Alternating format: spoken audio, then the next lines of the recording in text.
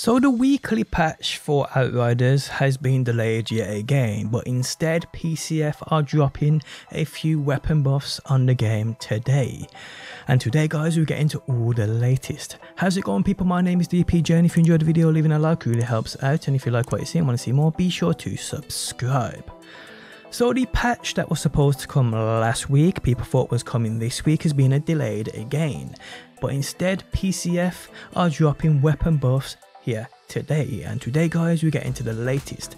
Okay so they dropped a post not long ago and it states our upcoming patch is unfortunately still not ready for release. However we have managed to bring uh, forward and release a small number of buffs that were planned to be implemented later on as part of a wider rebalance. We have been able to make these changes today because they involve on back end balancing rather than changes to game code the below buffs have been implemented as part of today's maintenance event. No download is necessary for them to take effect. Okay, so weapon mods buffed. Winter Blast has area of effect range increased to 5 meters, it was previously 4 meters. Ultimate Anomaly Surge has had its damage increased by 137%, from base 25 to a 34.25. Claymore Torrent has had its explosion damage increased by 210%, from base of a 30.6 to a 64.26. Ultimate Storm Whip has had its damage increased by 140%, from base of a 23 to a 32.2. Wow, that's craziness. Strings of Gauze has had its damage increased by 262%, from base of 24.5 to a 64. So quite some decent weapon buffs there, I'm not gonna lie. They go on to state topic for discussion the weapon mod meta. You may notice that a few of the above mods fall within a very particular category of mods. Most of them are single target or cleave mods, meaning that their damage potential is limited to a single enemy or small group of linked enemies. For the purpose of this discussion, we refer to these mods as ST mods. This contrasts with uncapped area of effect mods, such as Moaning Winds, which deals damage to an unlimited number of enemies within their respective area of effect radius. The current mod meta in Outriders currently centers around three pillars. A. General of effect damage mods, B. Moaning Wind and the quick cycling meta, and C. Fortress. Today's buffs are only our first steps towards addressing those aspects of the above mod meta which we deem to be unhealthy for the development of fun and varied builds in Outriders. We will be making changes in the future that will be aimed at disrupting the meta, but doing so in a way that opens up many more fun options and alternatives for players. Below is an overview of how we see the current situation. Pillar A General Area of Effect Damage Mods. According to our player data and community observations, there is currently an over reliance on area of effect damage mods which is most likely the result of the way most enemy encounters in expeditions are structured. Players usually face hordes of enemies against whom such area mods are the most efficient method of playing. One versus one or smaller mob group encounters are rare enough for the area mods to still do enough DPS to overcome these encounters, even though ST mods would likely be more effective here. This means that there is a strong under-reliance on ST mods, which is further exacerbated by some of these ST mods generally underperforming. Storm Whip is an excellent example here, as its previous damage potential stronger underperformed meaning few players chose this mod over other better alternatives. While originally developing the OG Outriders mod experience, we had envisioned that players would ensure that both of their weapons have fundamentally different mods. These would allow them to deal with and tackle different scenarios and encounters using a variety of weapons and methods. This brings us to the next two pillars B and C. We believe, and think that you'll agree, that the current meta that involves B and C has fundamentally stifled the need to run anything else. There is little incentive to experiment with other mods when these will always be more powerful. Pillar B, Moaning Winds and the quick cycling meta. Moaning Winds is one of the most dominant active mods currently in use. For anyone unaware, one of the most potent mod setups in the game right now is to stack the Moaning Winds mod on multiple weapons and empty your magazines, then run into a clump of enemies and cycle through your weapons, triggering this on reload mod and its substantial damage multiple times in a very short space of time. Some players are able to trigger Moaning Winds three times in the space of a 2 second window. This combo is especially effective in single player, where enemies cluster around a single rather than two or three players.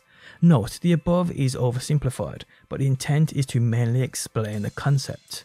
Moaning Winds is therefore vastly outperforming its intended potential, making it one of the best active damage mods in the game, while inviting a rather unorthodox playstyle. A single Moaning Winds mod by itself isn't necessarily a huge problem. It is mainly the double and triple stacking of it which is causing an unnatural shift in expected playstyles. Overall, Moaning Winds is a big topic and deserves its own discussion thread, which we will open in future, along with historical context about how Moaning Winds came to be. Pillar C Fortress. The third and by far most problematic pillar is C, the Fortress mod. The way Fortress currently works usually provides a passive and consistent 43% damage increase to damage the player inflicts. In essence, take your normal damage and apply the calculation of times 1.43 to it. That's it. That's the mod. No gameplay loop, kill or damage event or special situation required. In the current DPS oriented endgame, all players will naturally be trying to maximize the damage they are able to output. So the existence of Fortress in its current uh, form essentially blocks a mod slot. By not combining Fortress with your chosen primary mod, you may well be sacrificing DPS, which is a philosophical question we're not comfortable with you needing to face. We want you to have a free choice of multiple different combinations without feeling that you're missing out because you didn't choose Fortress. We also continue to be very aware that a timer based endgame is part of the problem in that it forces a DPS oriented build, rather than a survival or just pure fun build. These are current challenges that we believe the Outriders mod meta is facing today. Today's buffs are only the first steps in remedying the situation and we are starting with a partial look at Pillar A. We'll discuss Pillar B and C and the best possible ways to tackle them in the future. So there we have it guys on the mods and the buffs to them. Now everything they've said here in regards to Fortress and Moaning Winds is 100% correct. I mean there's no point now in even doing an expedition and trying to lay down that DPS if you don't have Fortress at least because it's just that good of a mod. How they're going to tackle this I ain't got a clue but I do like the idea of them looking into the time-based expeditions and working a way around that. It's something we've wanted for quite a while. I mean, I myself, I use my Trickster build, my Tickle Tickle build. I don't really use weapons, but still, even their Fortress helps me out. So yeah, it's going to be interesting to see how they combat that. Okay, so we're going to move on to patch news. Our latest patch is currently undergoing uh, the usual test cycle, but we wanted to share some insights on the upcoming fixes and changes with you already today. Please do bear in mind that our current testing is still validating the below fixes, so some of them may not be 100% guaranteed for this patch. Also know that this is not an exhaustive list and is still subject to change as we pass through the testing phase. The final patch will include more fixes and improvements. Further improve the visibility of the Broodmother Surge area of effect skill limits. Fixed a bug that was preventing players from reviving themselves and other players after using the Trickster's Borrowed Time skill. Resolved an issue that could cause the game to stutter when engaging crawlers in the battle during expeditions resolved an issue that could cause players to stutter when entering the Drain Lake during the third enemy encounter in the Scorched Lands expedition. Resolved an issue that prevented secondary characters from picking up journal entries if they had already been collected on a different character. Resolved an issue that would force uh, matchmaking privacy settings to default to open. The privacy setting should now remain closed when set. This should help further reduce AFK matchmaking added an AFK status for players on friends lists, changed the behaviour of the Devastator's Impale so that the game will detect impaled enemies as dead even before they disappear. The Devastator's Reflect Bullet skill will now protect uh, from scathing projectile attacks. Fixed a bug that could prevent Devastators from being able to consistently dodge if they had the auto reflect mod on. Fixed a bug that could cause client shots to sometimes deal no actual damage to enemies fixed a bug that could cause the Technomancer's Plague Sower set bonus to not proc consistently. Fixed a bug that could cause uh, the Plague Sower and the Cannibal Legendary sets to not retain their set bonus after transition. Fixed a bug that could cause certain mods like Grand Opening to not proc if the player was on their last magazine crash fixes and other minor bug fixes. So yes guys, expect those and probably a few other things in the next patch. Now when we'll get that patch I have no idea, but I'm hoping now next week. But yes guys, today we have the mod changes that I mentioned earlier and do let me know how they feel to you.